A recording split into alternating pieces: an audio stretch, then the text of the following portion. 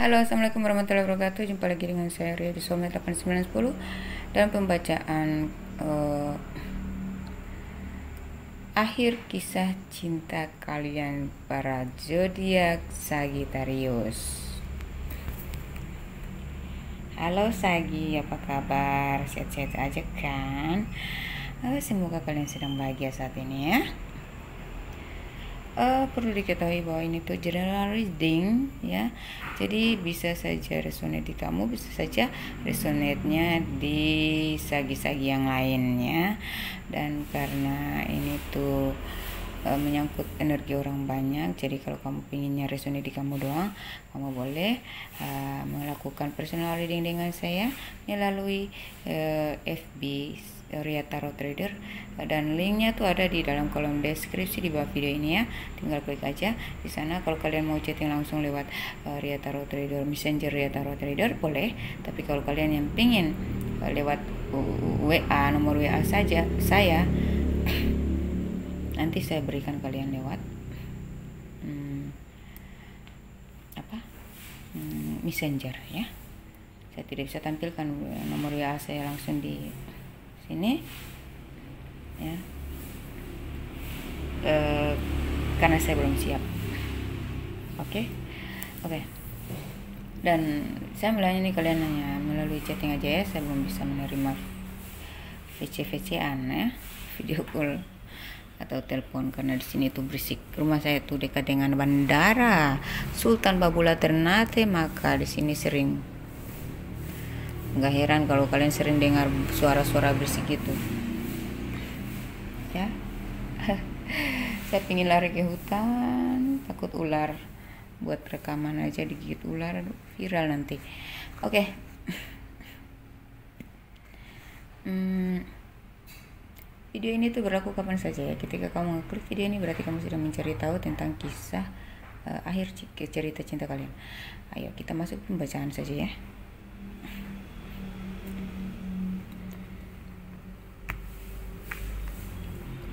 the moon. Oh, oh. Uh, sepertinya ada hubungan rahasia atau hubungan yang pernah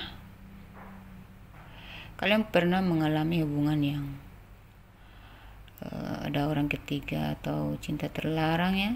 Atau kalian sedang berada dalam tahap ini? Cerita cinta terlarang ya? Ci kemudian di Knight of Pentacles. Saya baca dulu ya kisah kalian baru saya ulas apa uh, tarik kesimpulan dan kita baca akhir ceritanya.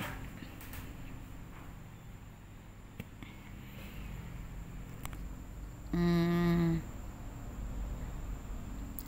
ya pergerakan seseorang ini sangat lambat kepada kalian namun ini adalah sebuah persiapan ya. Kemudian ya mungkin kalian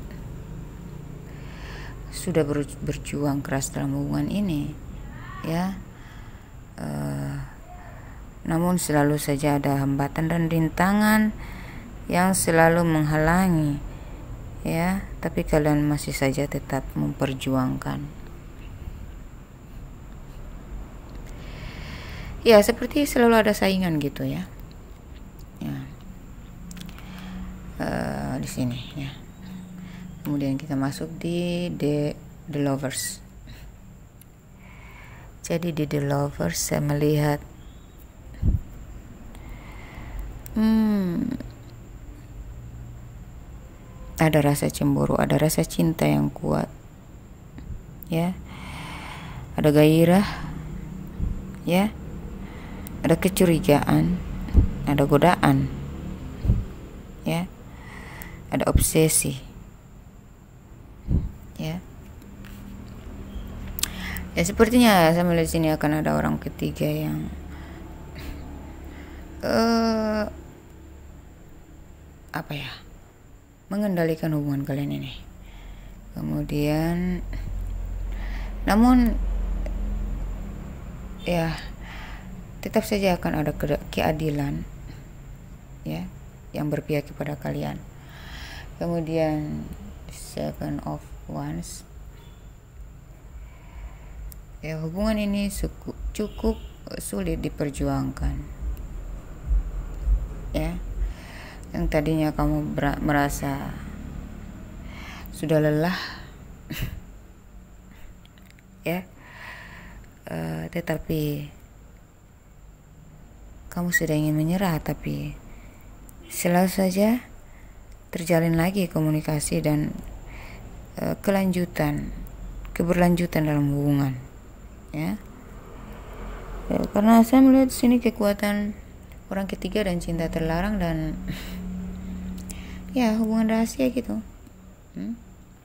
apa ini kemudian eh, ya beberapa dari kalian sudah melewati ini atau sudah menghadapi ini atau bahkan dalam perjalanan menuju ke sana dan Eight of uh, Cups. Beberapa dari kalian mungkin sedang berusaha untuk move on karena merasa tidak puas dalam karena merasa sudah berjuang sejauh ini dan yang kalian dapatkan masih kurang sesuai. Ya. Kemudian di Ten of Cups saya melihat akan ada kebahagiaan yang datang kepada kalian setelah cobaan yang kalian lalui ya saya melihat di sini. Kalian harus melindungi hubungan ini karena ada pihak-pihak banyak pihak yang sepertinya mencampuri dalam hubungan kalian ini ya. Jadi kalian seperti merasa minder gitu ya. Hmm.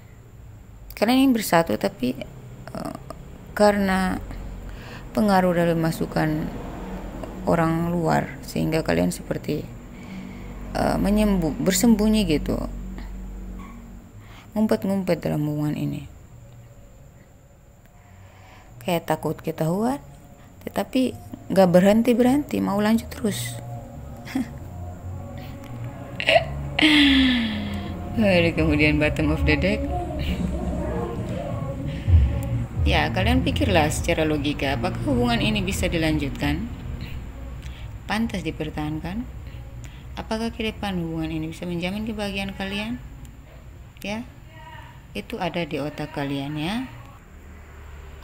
Ya soalnya kan e, cinta kan memang harus pakai logika karena ini masalah hati perasaan jiwa batin ya jadi cobalah pikirkan sekali lagi jika kalian yang sedang berkutat dalam hubungan yang berbahaya ya. Jadi kalian yang ber, sedang apa berdealing dalam hubungan yang berbahaya ya atau hubungan rahasia ya kalian pikirlah pakai logika ya apakah hubungan ini layak Cobalah berpikir secara seimbang. Berpikir lebih jauh ke depan. Ya. Oke. Jadi kalau kita sandingkan antara The Moon dengan uh, Seven of Wands ya kalau ada yang kalian merasa ada rahasia di antara kalian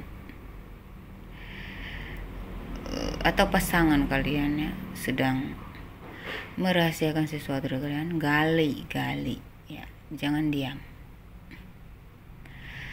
E, cari tahu karena kalian harus punya kejelasan ya. Jangan diam aja kalau kalian sudah curiga ya e, supaya kalian tuh nggak berlama-lama dan tidak bahagiaan merasa dibodohi gitu ya Hmm.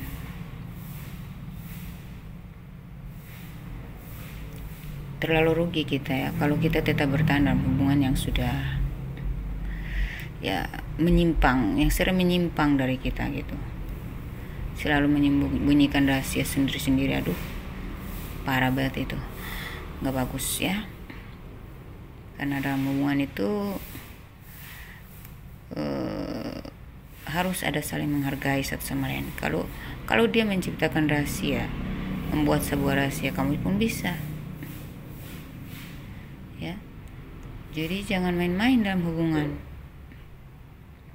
Kalau masih mau lanjut hentikan hubungan rahasia itu ya.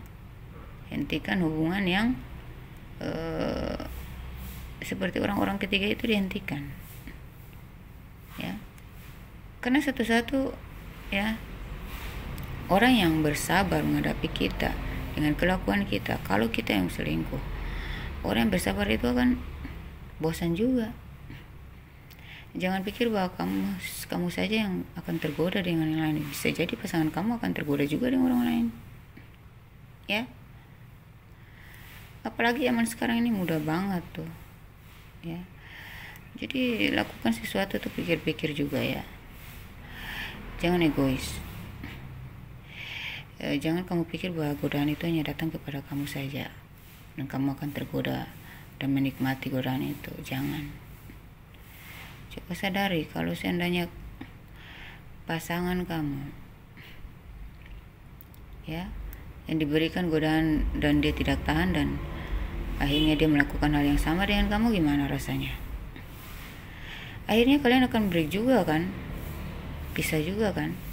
Ini ini nggak sehat tau. Jangan dipelihara. Jadi kalau kalian mau hubungan rumah tangga kalian utuh ya kalau kalian merasa ada yang disembunyikan gali. Ya korek dia. Korek sampai dasar. Namun hmm, ya. Dengan bijak ya. Dengan dewasa. Dengan tenang ya. E, tanyakan.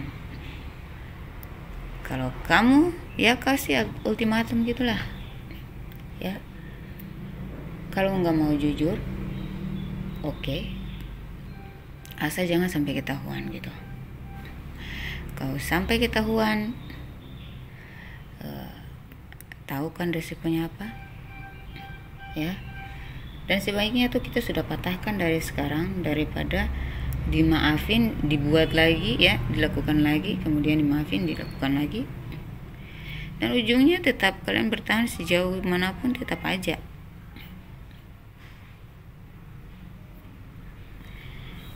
Ya, kamu berharap dia mau sadar kalau dia sudah terbiasa lebih dari tiga kali itu sudah nggak mungkin ya. Sulit. Ada juga jarang-jarang ada orang yang mau sadar setelah dia melakukan perselingkuhan perselingkuhan setelah tiga kali itu berdasarkan pengalaman juga yang saya alami.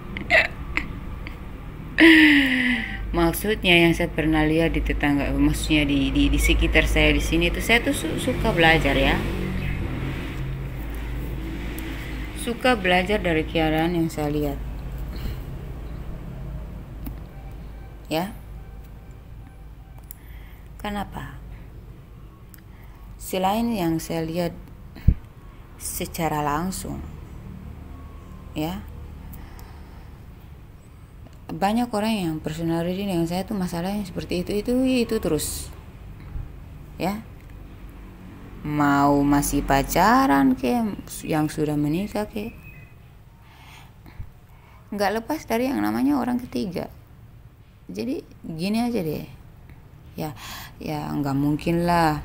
Sesetia apa pun ya sebuah hubungan pasti saja ada godaan pasti ya saja ada yang namanya orang ketiga. Betul itu. Uh, tapi kan nggak harus diulang-ulang. Ya. Jadi berikan ketegasan dari sekarang. Ya mau berubah nggak? Kalau nggak mau berubah dan mau pingin gitu lagi saya kasih kamu waktu. Saya kasih kamu ultimatum bahwa kalau sampai ketahuan lagi kamu melakukan hal yang sama ya udah kamu tahu akibatnya gitu. Harus seperti itu. Jangan biarkan diri kita tuh permainkan ya uh, kalau bagi kalian yang sudah punya anak ya mandiri. Apalagi kalian perempuan ya mandiri. Buatlah diri kalian punya penghasilan sendiri ya. Nggak bergantung kepada pasangan kalian saja. Bagaimanapun caranya kalian harus punya tabungan kalian harus punya ini. Karena di sini nih ada kesulitan keuangan juga. Yang kalian pikirkan akhirnya kalian tuh stuck dalam hubungan yang uh, bermasalah. Kalian tidak bisa berani mengambil langkah. Jadi mau cerai pun sulit. Ya. Karena kalian berpikir tentang anak-anak kalian dan biaya selanjutnya bla bla bla. Ya.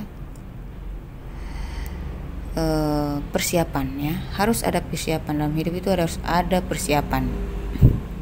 Ya masalah itu akan datang tiba-tiba dan kapan saja dia akan datang ya. Dan dia masalah yang sama juga bisa terulang kembali. Maka eh, kita sebagai manusia ya harus punya antisipasi ya, harus antisipatif terhadap apa pun yang belum terjadi. Karena itu bisa saja terjadi. Jangan pikir bahwa kita nyaman-nyaman aja kita akan fine-fine aja. Jangan. Harus antisipatif. Uh, jadi solusi ya. Uh, saya rasa akan ada dia akan minta maaf kepada kamu. Ya karena dia merasa hubungan ini juga sudah diperjuangkan selama ini. Uh, dan ya mungkin sementara kalian break dulu. Ya dia lagi butuh healing. Uh, namun akan ada masukan dari orang tua dukungan dari orang tua yang akan menguatkan hubungan ini.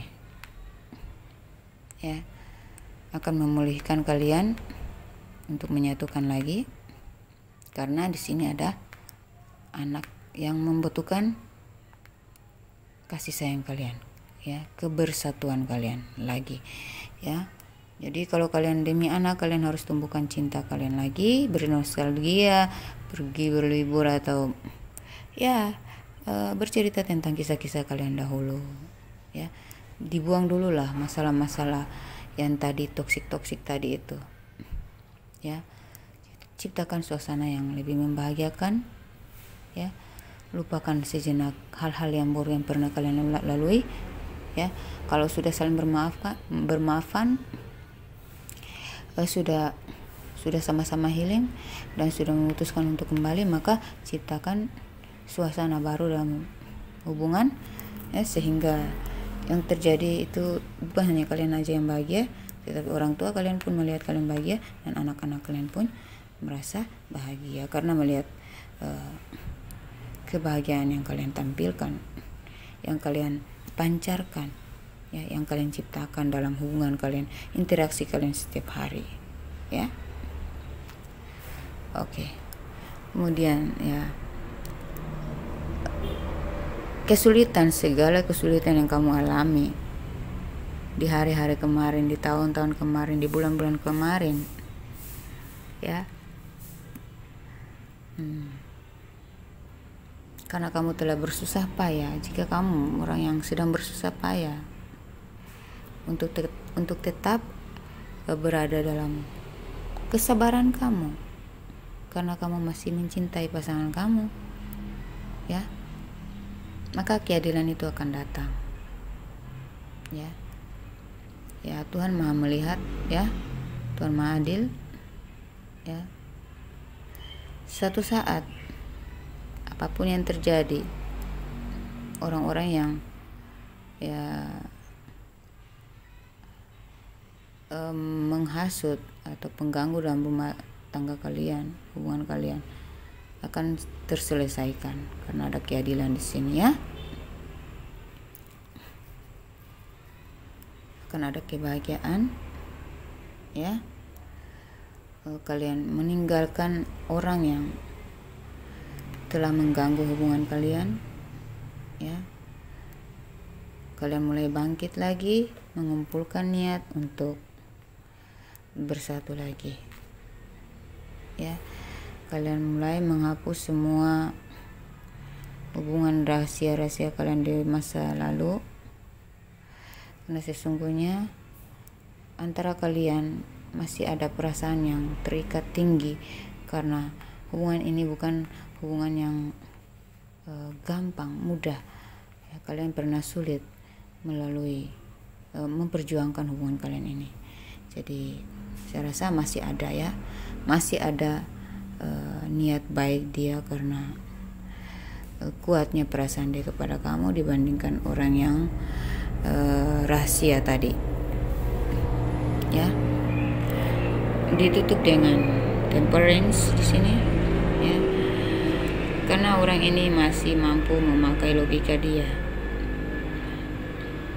ya oh, ini bisa vice versa kamu atau dia masih mampu memakai logika dia untuk hmm, berpikir bijak ya, mengambil keputusan yang tepat dan berpikir tentang masa depan ya jadi saya merasa akan stabil hubungan kalian ini karena di antara kalian ya uh,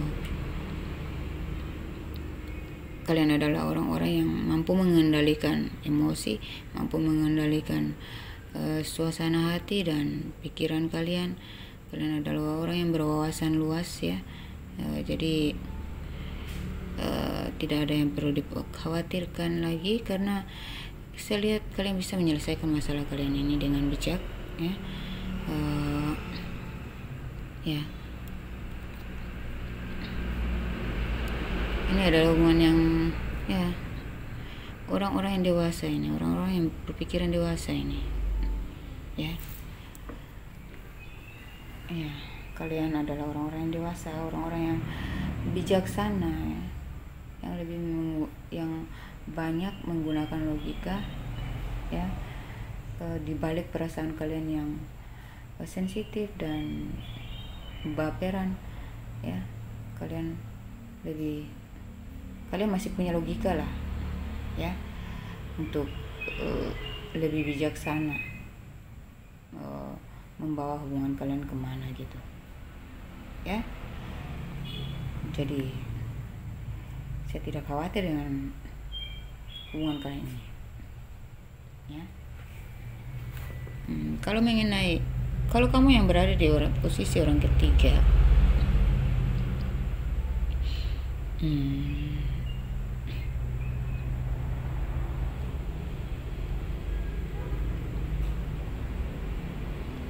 saya rasa tidak ada saran untuk kalian ya. Karena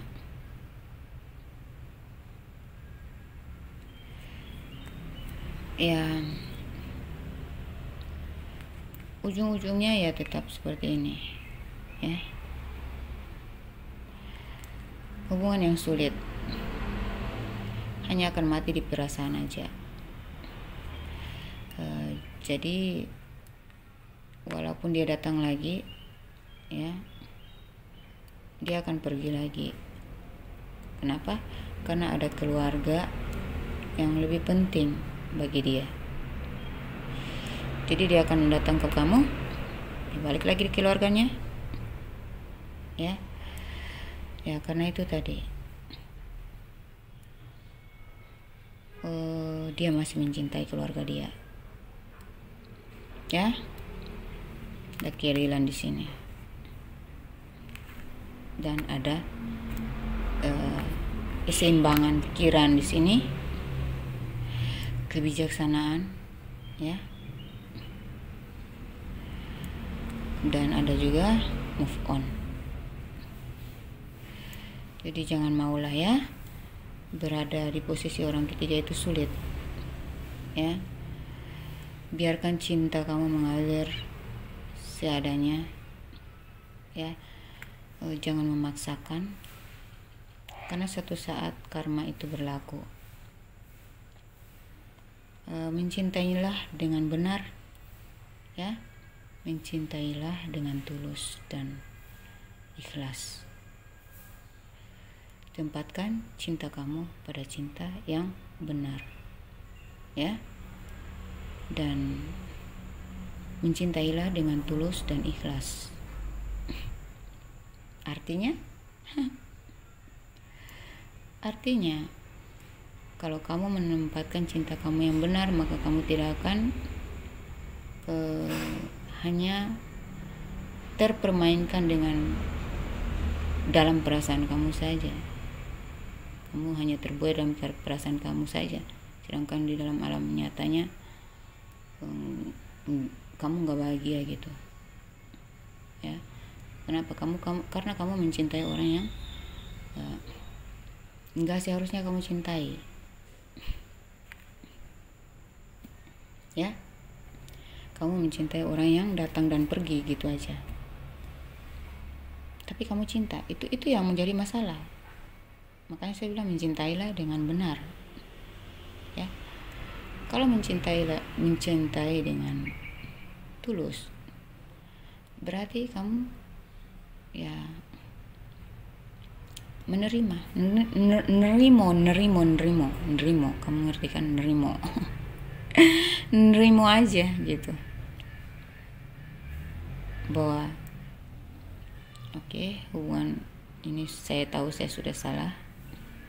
Jadi apa pun konsekuensinya saya nerima aja saya nggak maksa untuk harus menjadi milik saya satu-satunya ya dan ikhlaskan. Ya. Yang penting kamu sudah mencintai dengan tulus. Yang penting kamu nggak maksa. Ya. Yang, kamu, yang penting kamu ikhlas melepaskan demi kebahagiaan mereka. Karena kamu gak mau menjadi biang kerok dari ketidakbahagiaan mereka. Maka satu saat keadilan akan berpihak kepada kamu ya.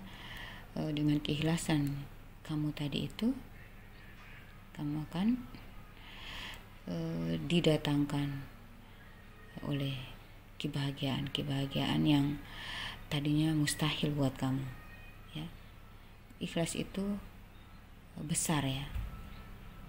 Ikhlas itu berat tetapi e, balasannya itu besar e, apa ya mujizatnya itu besar. Mujizat dari keikhlasan kita itu besar ya. E, hadiah atau e, karma baiknya itu besar. Ya. Jadi ikhlas aja. Oke? Okay? hmm, itulah solusi dari saya. Untuk kamu yang jadi pihak ketiga ikhlas mencintailah dengan benar mencintailah dengan tulus dan mencintailah dengan ikhlas. Mengikhlaskan cinta itu. Oke? Okay? karena orang-orang yang tulus orang-orang yang uh, benar orang-orang yang tulus orang-orang yang ikhlas itu akan mendapatkan hmm, jawaban-jawaban. Hmm, atas pertanyaan mereka akan mendapatkan uh, akan diberkahi oleh alam semesta dan Tuhan yang Maha Esa atas eh, niat-niat uh, baik kalian ini ya. Ketabahan kalian dan kesabaran kalian ya akan diberikan Eh, keadilan berdasarkan sikap kalian tadi ya oke. Kalau kalian yang sedang punya hubungan tadi saya sudah bilang ya tetap bijaksana ya. E, ciptakan kembali kebahagiaan keromantisan keromanisan uh, agar hubungan kalian pulih kembali ya. Uh, jika kalian ingin hubungan kalian ini sudah sering terjadi perselingkuhan harus ada ketegasan ya. Kalau sudah lebih dari tiga kali kita jangan terlalu berharap bahwa dia akan sembuh dari kebiasaan dia itu selingkuh ya. Karena kalian hanya akan membuang-buang waktu saja ya. Jadi bukan berarti saya suruh kalian berpisah enggak. Maksudnya harus benar-benar tegas dong tegas. Ya. Kalau kamu nggak tegas maka uh, lebih dari tiga kali itu akan yang terjadi akan lebih hancur lagi. Lebih parah lagi. Ya. Jadi lebih baik sekarang daripada nanti oke? okay? Semoga ini sedikit masuk akal sedikit semoga ini sedikit meringankan beban pikiran kalian mencerahkan kalian dan sedikit membantu kalian. Ya dan semoga ini bermanfaat. Wassalamualaikum warahmatullahi wabarakatuh